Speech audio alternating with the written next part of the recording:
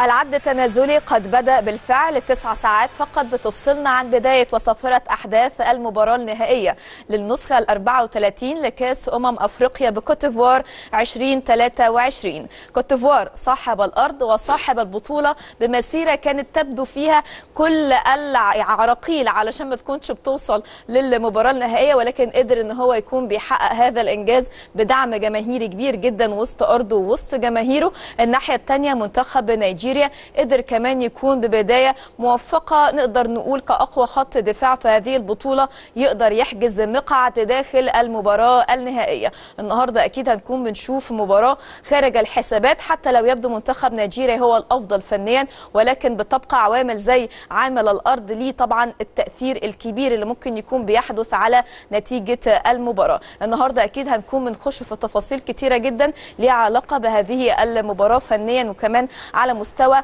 كل المشوار اللي خاضه كلا المنتخبين على مدار البطولة بجانب طبعا تطرقنا لكل ما هو جديد متعلق بمنتخبنا الأول ومصيره والبداية الجديدة تحت قيادة الكابتن حسام حسن.